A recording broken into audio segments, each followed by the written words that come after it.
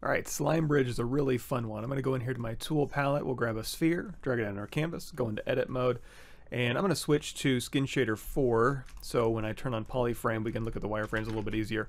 Uh, so let's make Polymesh 3D so we can sculpt on this object. And underneath Tool, Slime Bridge, you have a Slime Bridge button, which of course you can assign a hotkey to, and then you've got some options down here. Basically all you need is a mask and to click that button and to play with these sliders and that'll get you uh, some sort of a result. Now if you just have one object and you mask on it and then you say slime bridge, it'll kind of fold in on itself, which could be cool for some sort of like weird alien growth or you know something, I don't know, that'll look like that. And then of course you can play with these uh, options here, but it's a little bit easier to show uh, if you use two masks. And you can use two masks on the same object, so you can go a mask here and a mask here, and then you can slime bridge those together. And basically what it's doing, if I turn on polyframe, is it's creating bridges. So we have bridges set to 20. It's creating bridges and then branches. So branches branch off of primary bridges and then capillaries branch off uh, between both of those and they kind of add little smaller connectors here. And you can also do that between objects. If I hit Control Z here and then Control drag to unmask this entire object, I'm going to hit W, Control drag out a copy, Control drag to unmask, and now I've got two spheres here, and the same. It's in the same subtool, so I just again just duplicated that off by control dragging uh, with my gizmo. Just hit W on your keyboard, and then you can control drag in a direction that'll duplicate that. So now I can go mask on this side. Again, masking just holding down control. That'll turn it to mask pin, and then you mask one side, you mask the other. You go through here, you click slime bridge, and based on your settings here, it's going to create an interesting network of slimes. And that's basically it. Uh, there's a few things I'm going to call out and then we'll go through some examples, so stick around if you want to see that. Uh, if we go in here to polyframe, you're going to see, first of all, it actually gives you really nice geometry. It's nice quaded geometry, and it is, another thing you'll notice, is that the geometry is pretty consistent. You know, the, this is, uh, you can see the density of this geo carries through from the density of the slime. So if I control Z to undo that, uh, let's play around with a few of these sliders here. So bridges, uh, if we crank this down to say two, and then, uh, you know what, let's turn branches and capillaries off. You can basically just create a slime bridge uh, with bridges. Now, it says two in here, and it made two of them, and so you would expect like, oh, is it super accurate? Not necessarily.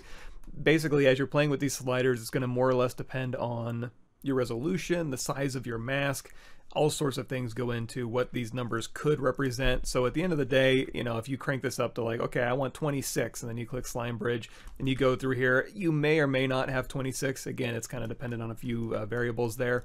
Uh, but generally speaking, you crank this up, you're going to get more bridges. So again, we'll undo this. We'll say, okay, 9 here, and then if we undo that, we'll say branches.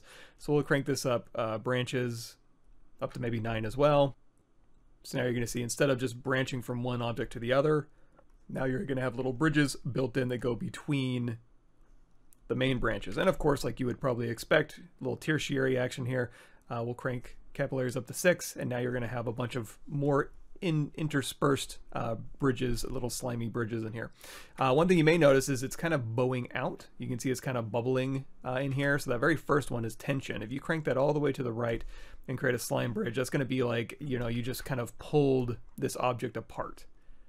So it's very taut, very stringy, and I'll be honest, this is probably what I use 90% of the time, and then I modified this as needed. So just kind of show this off. I'm going to turn uh, capillaries down to zero, branches down a little bit. I'm going to hold down control, uh, mask pin. I'm just going to mask between these objects here. Again, tension all the way up to 100, and then I'm going to slime bridge across between them. And then once you've done that, if you turn on polyframe, you'll notice every single one of these bridges gets its own polygroup, and then these uh, branches over here get their own polygroup. It's sharing between these two. If you need to, you can just isolate these and be like, hey, I want these to be separate. No problem. Just go down here to polygroups, and then say auto groups and anything that's not vert welded will get its own polygroups. You can kind of separate them out like that if you need to. So if you ever need to isolate just the strands, you can, uh, if your original object was one polygroup, you can hold down Control Shift and tap, and then Control Shift and drag, and that'll isolate the visibility to just your slimes. Uh, another thing that I've been doing is holding down Control Shift, going to Select Lasso, um, and if you just grab most of your slimes, you can do Control Shift Q, and that's visibility. If you go down here to your visibility menu, you can see there's grow all, which will grow everything that's vert welded, and then also um, grow to polygroups. So Control Shift Q again that'll just grab all of your slime. So if this had multiple polygroups, that's just another way to grab them. Of course, you can also just control shift and tap through here if you need to uh, using select rectangle and that'll just grab uh, these individual polygroups. Now if you just want to grab a little piece of a slime, again you can just control shift tap and this grabbed a bunch of them so I'm going to go into again polygroups auto groups here. So now when I grab this one it'll be isolated. So you can go through here and you can move scale rotate use any brushes go in here to inflate brush if you want to or hold down shift to smooth. That's usually something I'll do. So I'll try to you can even go down here to an overall underneath your deformation menu you can go in here to inflate and you can do an overall inflate. And then in the middle here you can hold down shift and smooth and you'll see it'll kind of make them a little stringier. So it'll enhance the illusion that it's maintaining its volume here and then as it's getting stretched thinner and thinner it's uh, it's really really thinning out in the middle and then if you use the new uh, redshift renderer uh, you can go through here and add some subsurface scattering and put a light behind it and again it'll be kind of a thick substance here and then the, it'll thin out here and you'll see the light shine through your object. Of course if you hit W that'll bring the gizmo up. You can go in here to your little gizmo gear icon and we can do like maybe a twist deformer. So you can go through here and you can twist these things around. So if you want to have a little bit of fun with twist or if you want to just play with the strands you can go in here. I mean there's any number of deformers you can use. I'm just going to show you a few a few. So like bend curve for example you can go in here and crank up that resolution. You can go through here and you can kind of use this to uh, bend stretch uh, twist through here. So you can have a little bit of fun uh, kind of playing around with these options let's go ahead and undo that and another thing you can do is uh, remember you do have access to, if we go up here to the dynamics menu, I'm just going to drag this over to the left, uh, and we turn on our floor, you can see, let's orient ourselves in space here. So here's Y up, and then towards the floor is where gravity is going to pull by default. You can set the direction, but we'll just go ahead and keep it as is. I am going to turn off floor collision, unless you want these things to like collide on the floor. But what I'll usually do is I'll just control shift tap these objects here, control tap to mask them, control shift tap to bring everything else back. And then with these things unmasked, or in fact, you can actually control tap on here to kind of blur that mask a bit. Uh, and then we can have gravity turned on, floor collision off, and then you can just run the simulation and that'll go ahead and just kind of sag these little strands down. Um, another thing you can do is while you're doing that, you can turn on inflate. You can play with the inflate amount. So while it's running the simulation, uh, they'll stay a little bit inflated. Of course, you can do inflate, expand, you know, again, play around with these sliders and you can get some really interesting effects. Adding uh, cloth simulation and uh, your strand geometry. And remember, the geometry is actually pretty nice. So if you go through here and you're like, okay, you know what, I want to turn, these are cool as mucus strands, but I want to turn them into cables. Well, if you take the uh, geometry here, so control shift tap this geometry, control shift drag to invert that, uh, geometry, modify topology, delete hidden, and that'll just leave these strands behind. And actually, now that I say that, it might get a little hectic because we do have uh, branches that branch off, but let's go ahead and take our undo slider back to where we just had our two opposing uh, objects here. And we'll talk about one more thing now that I'm thinking about it. Control drag to unmask. And you, so you basically, you saw how these things interacted with uh, this kind, this resolution of geometry. And you can do it with any type of geometry. You can do it with, you know, Dynamesh geometry or Sculptris Pro, doesn't really matter. As long as you have polygons, uh, it'll work. So again, just to show you, here's the slime bridge at this resolution. So if I want to lower the resolution on these, I'm going to control drag. We're going to go to geometry, ZRemesher, uh, do half, and then just ZRemesh. And it's a little bit bigger. Let's do it again. There we go. So now we've got uh, much larger geometry. So if I go through here, and then with the exact same settings, go through here in Slime Bridge, I get a much different result, right? Uh, and in fact, we have um, bridges and branches and uh, turned on, but you can see we didn't really get, we got one branch. I told it three, it gave us one. Again, that's going to be dependent on the resolution of your geometry, the size of your masks, etc., etc. Uh, but for the cables that I was talking about, let's crank branches down to zero. Let's crank bridges up, and we'll just go ahead and, um, well, I'm putting this across here uh, you know what, this will work. So uh, I want to sag these in between. So let's go ahead and just use uh, gravity again. So I'm going to again control shift tap here, control tap in my canvas to mask it. Of course, all your masking options, if you're new to ZBrush, and you if you're new to ZBrush, go watch the intro to ZBrush playlist on my YouTube channel. But if you go in here to masking, here's all of your masking options. I'm using the hotkeys for that. So again, control tap in your document to mask what's visible, control shift tap to bring visibility back on all my objects. Um, you can click blur mask or just control tap on your object to blur your mask. And then we can go in here and we can just run the simulation on here. But in this case, uh, it looks like I can just keep that mask pretty tight. There we go. So we're going to sag these cables through here.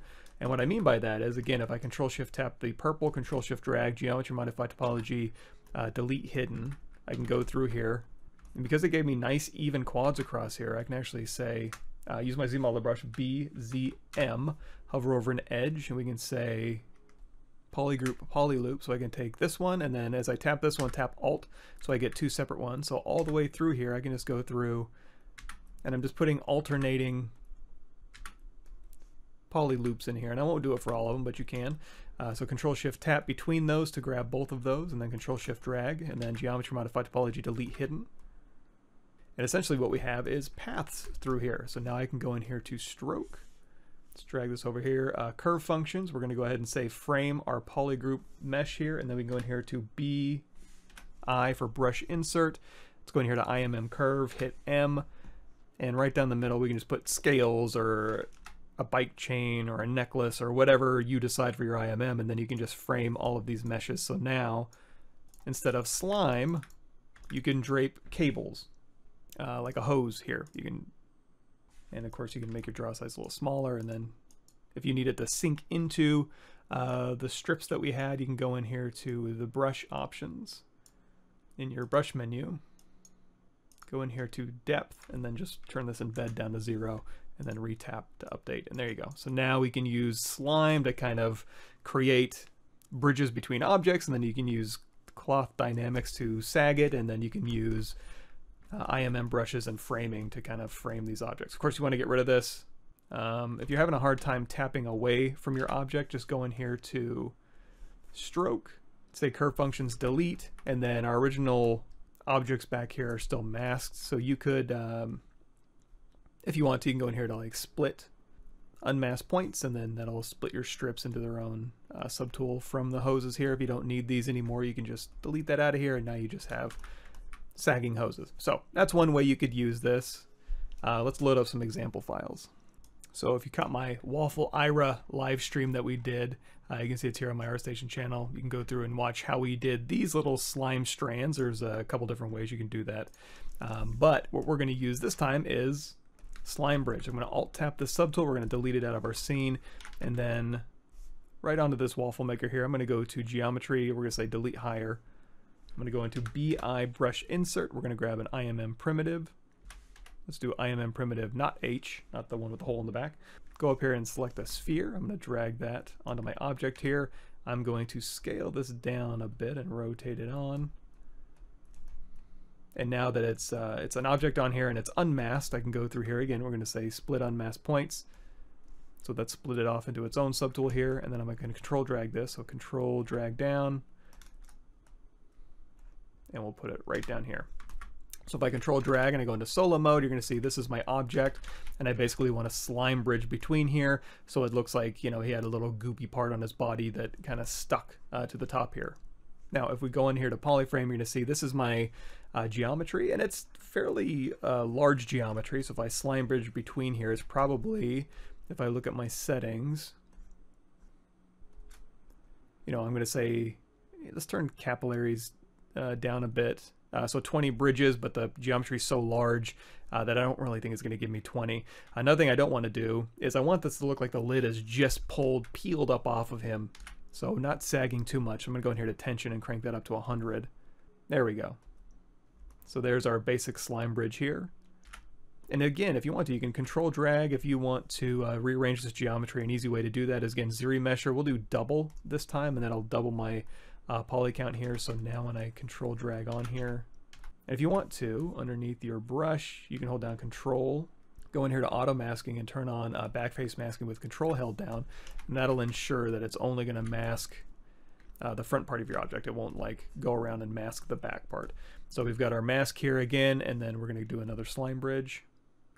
There we go. So now we're getting a few more bridges now that the geometry is a little tighter. Again, that was Z-remeshing the geometry. If you control D to subdivide, um, so geometry divide, and then you try to bridge between here, it'll tell you you can't do that with multiple subdivision levels. In that case, just go in here and say delete lower, and then go ahead and run your slime bridge.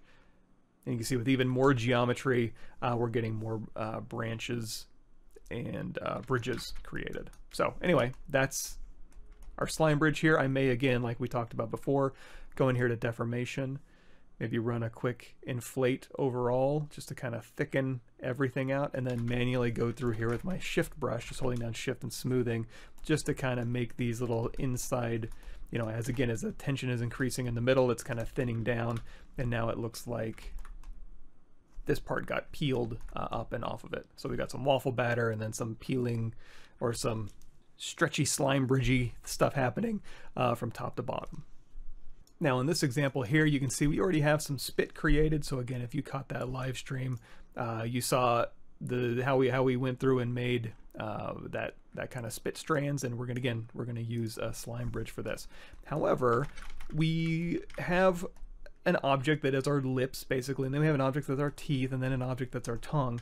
Um, and we want a slime bridge between multiple subtools. Uh, and then I want to separate those slimes out as saliva. Uh, so how I would do that is I would go down here and I would say, first of all, I would say all low, just to drop everything down to its lowest subdivision level. And then anything I want to have merged together, I'm going to isolate um, or do visibility by turning off my eyeballs here. Or what you could do is you can go in here and say, merge visible and just merge everything together and that's going to throw out a merged copy of your object here at the lowest resolution geometry which is what we had uh, selected. So now I can go through here and say okay I want spit to go from the tongue uh, up here to the lip and I was control shift tapping. So control shift tap the tongue and then control drag to invert that selection. Uh, control shift tap the lips and you know what? Maybe even the teeth. So I'm going to control shift tap the teeth here control shift drag to invert that selection. And then like we talked about before uh, previously, we had done a visibility grow to polygroups. In this case, I want to grow all, Control Shift A. So Control Shift A will grab all of those subtools that I want to bridge spit between. And if I Control Shift drag, these are all the extra subtools that I really don't care about. So I'm going to go through here and say Geometry, Modify Topology, Delete Hidden, and now I just have this geometry, all part of one subtool. And again, I am going to be bridging between like, you know, this geometry and that geometry, but remember, this is just temporary. We still have our good geometry over here in this Z tool. This is just kind of a working file just so I get the spit strands going, right? So I'm going to mask, I want to say, um, okay, some strands from uh, this lip here down to this tongue. So we're going to mask between those. Let's go down here. Let's turn our bridges down quite a bit uh, branches down quite a bit, capillaries down to zero. Um, oh, and slime bridge, uh, we want to do tension all the way up. So again, it's kind of like pulling between here. And in fact, let's control drag, let's hit control D to subdivide one time. And I'm going to go up here to geometry, delete lower, and then we'll try that again. We'll say, hey, mask here to here, give me a slime bridge. There we go. So now we have kind of a uh, spit direction on there. Now, if you did want to go through here manually, again, these all have their own polygroups, but remember, so you can isolate, you know, from here, mask, invert that mask, and then go through here and, you know, use your move brush. You can also go in here to your move brush and go down here to auto masking topological, and then use topology to kind of go through here and say, hey, I just want to move although since this geometry is connected, we maybe have to turn our, turn our range down to maybe 1.5. So again, the first piece of geometry that you touch will be the geometry that you move. So you can go through here and you can mask and move, or you can go through here with move topology and kind of move these strands apart um, if you want to. And in fact, if you are also so inclined, you can go through and be like, hey, you know what, I don't want this huge strand right here and maybe not this this one right here. So we can say, okay, that's enough strands for me. Geometry modify topology, delete hidden, uh, just run a geometry modify topology close holes, and that'll go ahead and close uh, any remaining holes for you. So again, you, you have quite a bit of control over uh, your spit strands. So uh, let's undo back to where we just had our original masks here, and uh, let's try on the bottom of the tongue here, and then over here to this lip, and again, we'll do a slime bridge, and in fact, let's crank uh, the bridges up just a little bit here. And I'm to extend uh, my mask here. So lip, tongue, slime bridge on one side. And then I'm going to go inside of this lip down here to this tongue slime bridge. And then maybe another one top of that lip to the tongue over here slime bridge. And again, I just want the bridges themselves. I don't want the rest of the head. So what I'll do is uh, I'll go through Control Shift Tap, you know, the lips here, I think, uh, and the tongue contain most of the connectors, and then the head around here. There we go. So this is all of our uh, little spit pieces there. So I'm going to say Geometry Modify Topology, Delete Hidden, and then I'm going to rotate my camera, Control Shift, grab Select Lasso, grab a big chunk of those slimes that are sitting there, and then do another Visibility Grow All. Control Shift A, Control Shift Drag. There we go. So we basically isolated our spits. So I'm going to say Geometry Modify Topology. I'll do it up here. Geometry Modify Topology, Delete Hidden. Um, and then if I want to cap these, which generally I do, I'm just going to run a close holes and then I'll go ahead and put holes over my caps here. And then we can go back to our original file here. We can say, hey, okay, we don't need these spits anymore, so we can delete these here. Just alt tapping them and then deleting them out of my scene. And then I'm going to say append, and then we're going to put in our spits here. So that'll be our little slime bridges here. And then just like we did before, we can hold down shift and then smooth these out in the middle and then maybe go in here with our inflate brush and inflate the bottoms a little bit here and then use our move brush to kind of move these into place. So again, you can go through here and you can say, I mean, we kind of went overboard on the, the bridges and stuff, but you know, maybe you do, maybe do fewer uh, if you're going to use this for, because he's, he's looking a little bit uh, extra gross, which uh, I don't know, I suppose isn't a terrible thing. Uh, and also remember too, when you go to render this, if this is going to be, you know, transparent, again, using that you know, render, redshift renderer, and you want to use, you know, glass for the spit or something like that, um, it's not going to be quite as overpowering as uh, this is just being opaque. But anyway, there you go. That's there. There's a way to, you know, just use it generally to create slime bridges, and then how to incorporate it into a little bit more of a complex object and get those uh, working as its own subtool. Actually, one more quick thing I want to show since uh, I just remembered. Let's go back to our merged version. I'm just going to take the undo slider all the way back here. Uh, and let's say Control Shift Tap uh, on the head here, then Control Shift A, Geometry Modify Topology, Delete Hidden. And let's say I want to put some Slime Bridge spikes on the top of this guy. Uh, so what I'm going to do is again, BI Brush Insert IMM Primitives, hit M. Let's go ahead and grab, doesn't really matter, but uh, a sphere drag it out on my head here, hit W so I can use my gizmo to pull this up, and I'm just going to make a mohawk of slimes uh, emanating from this guy's head. So I'm going to go through here, I'm going to mask the bottom of this one and then the bottom of this one, go back down here to slime bridge these together. One more thing I did want to mention.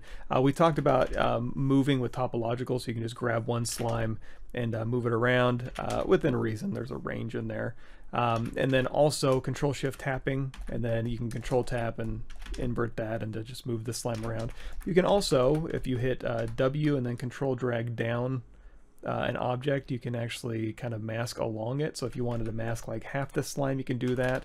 Another option is holding down control and then going here to mask lasso, backing your camera way off, and that'll actually, again, with mask lasso, give you a nice smooth fall off in case you needed to, um, you know, do any soft fall offy type stuff. Let's go ahead and mask that out. There we go. Um, but yeah, I just wanted to mention, uh, for example, on this branch, if you control drag down the branch, you can also isolate uh, just areas there. And of course, if you just hold down control shift and click and then control drag down, again, it's going to mask down uh, the geometry there. So just something I wanted to bring up. But anyway, uh, back here to the slime. So again, we're just going to very quickly, let's hold down control, go back to mask pin. We're going to mask here to here, slime bridge, here to here, slime bridge, and finally here to here, slime bridge. And now, uh, let's say we wanted to turn these into spikes. So what I can do is hold down Control Shift, go to Select Rectangle, uh, Control Shift tap the poly group that was our original spheres here, Control Shift drag to invert that, again, geometry modified topology delete hidden, which is geometry modified topology delete hidden right here. You know what? We'll go ahead and do a close holes, and then I'm going to hold down Shift, go in here to Sculptris Pro. With Shift held down, just choose Sculptris Pro. What that'll allow you to do is just kind of eat away geometry. So you can go through here and you can kind of just chew away uh, the top part of the geo and it'll just leave you with uh, spikes. So if you wanted to use a slime bridge type thing uh, to generate spikes, you can. And again, just using Sculptris Pro is just an easy way to kind of eat geometry away. You don't have to. You can go through and you know delete geometry uh, using other methods. Um, that's just an easy way to kind of get that type of result.